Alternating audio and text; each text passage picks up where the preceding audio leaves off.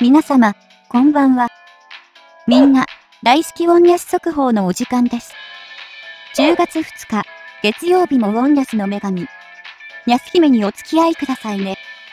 ウォンニャス速報の後は、気になる韓国経済ニュースをピックアップするので、最後まで視聴するのよ。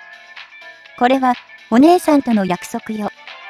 では、最初はウォンニャス速報からね。記事のタイトルを読むわよ。韓国証券市場、ボンネス速報、開幕は1352.57、9月末オンレート発表。では、記事の突っ込みを読むわよ。韓国証券市場、韓国の証券市場は、まだ中足でお休みだが、世界の証券市場は、10月2日から動いている。しかも、10月最初ということで答え合わせの時間だ。9月末のレート予想はどうだっただろうか。あまりにも肝銀が不甲斐ないばかりに。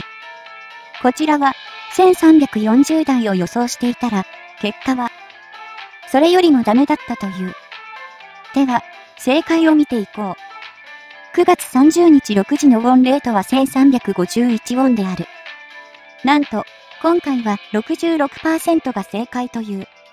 皆さん、余裕でしたね。しかし、1340台だと思ったら、まさかのウォンザム出撃のまま。終わるとか。本当、肝銀はドル不足だったんじゃないか。連休中なので、中の人が休んでいた可能性もあるか。どちらにせよ。10月はもっと荒れるだろう。1400いくかどうか。こちらの予想は年末に1400だ。残り3ヶ月で達成するのか。楽しくウォンウォッチを続けていく。では日経平均を見ていこうか。日経平均は31,759円88銭。マイナス97円74銭。トピックスは2314.44。マイナス8.95ポイント。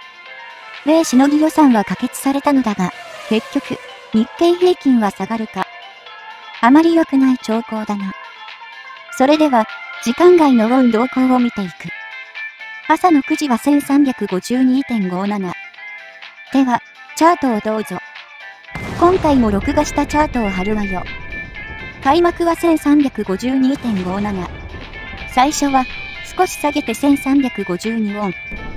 しかし、そこから、ウォンは急に上がり出して1350突破を目指す。これは時間外の換金法か。ドーン。しかし、1350寸前のところで押し戻される。そこからは触れぼっこだ。ウォンはどんどん下がっていく。12時頃には1352ウォン。それから、少し上げる、だんだんと下がっていく。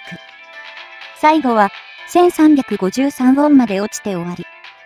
あとは、ドル円と気になるニュースだ。ドル円。朝の7時は149.496。もう、150円まで後ろがない。しかも、ここからさらに下げて、149.80にとか。本当に150円突破しそうだ。日銀法が怖くないのか。気になるニュース。今年も、この季節がついにやってきた。そう、10月といえば、韓国では恒例のノーベル賞である。しかも、100年前からノーベル賞を患っていたそうだ。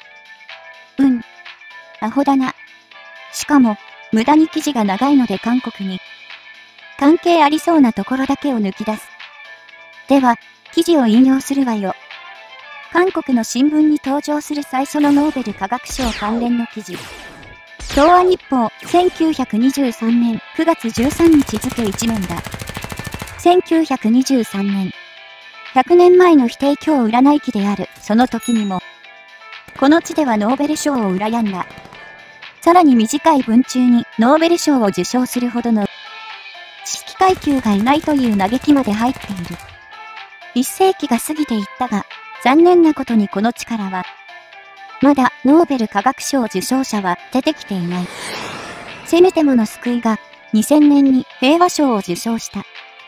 キム・デジュン元大統領が韓国をノーベル賞受賞国家名簿に入れたことだ。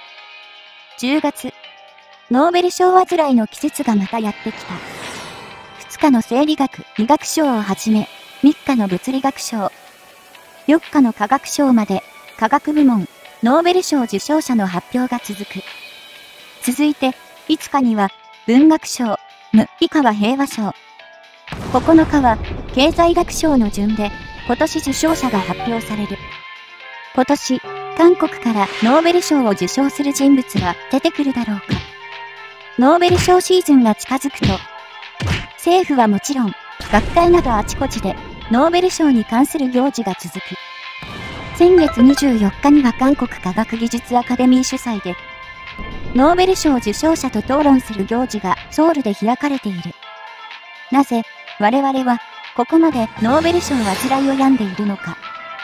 ノーベル賞とは何か。問いを借りて、その答えを探ってみたい。省略。だが、韓国は、まだ、科学賞受賞者は一人も輩出できないために、毎年患いを続けている。ノーベル化学賞は、韓国歴代大統領の条例発言でもあった。ノーベル賞が出てくる時になった。一度出てくればあとは溢れるように出てくるだろう。ユン・ソクヨル。日本が22人のノーベル化学賞を受賞している間、我が国は候補にも入れることができずにいる。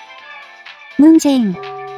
我々ももっと基礎科学に投資をすれば10年内にノーベル賞を受賞できると期待する。イミョンバク。そろそろ、我が国からもノーベル化学賞受賞者が出てくるべきだ。ノムヒョン。イム・ギョンスン名誉教授は、韓国がとりわけノーベル賞に執着するのは事実としながら、世界中どこへ行っても我々ほどノーベル賞を渇望している国はないと話した。引用は以上よ。まあ、別に日本人の研究者がノーベル賞を欲しくて、その研究をしているわけではない。結果的に頑張ってきた研究や理論がノーベル賞として認められたのだろう。もっとも、今年は AI ブームなので、AI 関連でノーベル賞が選ばれるんじゃないかとこちらは見ているが、どうなんだろうな。ニュースは以上よ。しかし、ノーベル賞が100年前からとは恐れ入ったが、韓国人は100年も待ち望んで、未だに諦めてなかったのね。だから、取れないのね。納得だわ。といったところで今回はおしまい。ご視聴ありがとうございます。次の動画を見てください。